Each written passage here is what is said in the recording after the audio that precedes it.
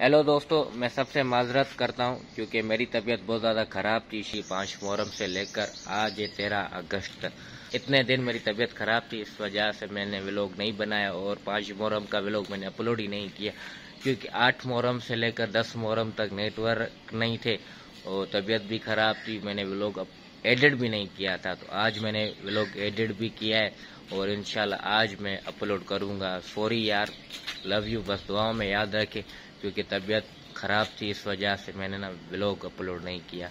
तो love you हो गया क्योंकि छोटा सा ब्लॉग बनाए और अचानक तबीयत ख़राब हो गई तो ब्लॉग और शूट नहीं हो पाया मुझसे।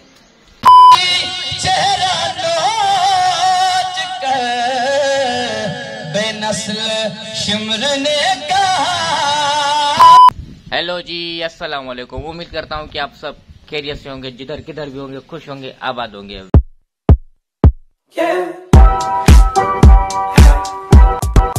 तो आज जो है पाँच मुहर्रम तो हर साल हर साल जैसे मुहर्रम आता है पाँच मुहर्रम आता है तो हम लगाते हैं सबील तो मेरे घर से कुछ दूर आ, है पुराने सखर।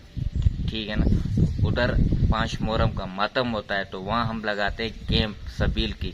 तो उधर जा रहे हम। तो भाई लोग, सुबह कोई चले गए थे कैंप पर तो मैं अभी जा रहा हूँ, क्योंकि मैं रात को देर से सोया था, क्योंकि व्लॉग मैंने अपलोड किया था, जो लास्ट व्लॉग अभी अभी तो ये तो वीडियो मैं ख्याल लेती, छह मोहरम तक अपलोड हो जाएगी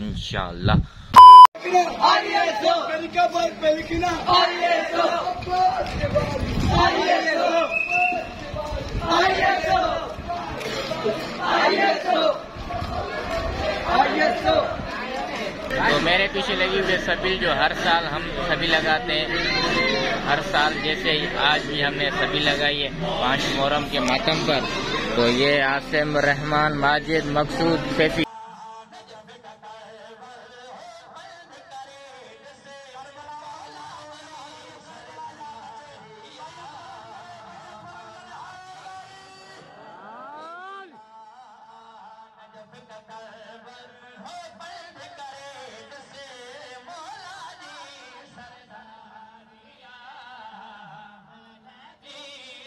मकाम से मातम निकल के आया है तो ये मातम अभी जाएगा मासूमी इमाम बरगाह पर।